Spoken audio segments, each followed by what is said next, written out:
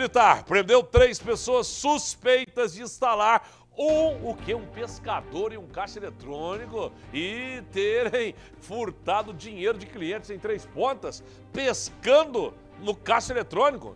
Olha como é que faz? O, o cara chegava lá, tinha um cara pescando. Oxi, oxi, põe no ar.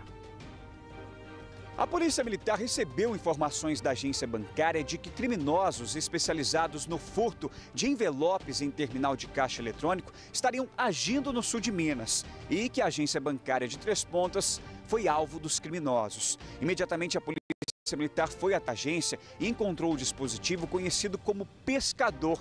Um funcionário da agência foi quem retirou o equipamento do terminal do caixa eletrônico.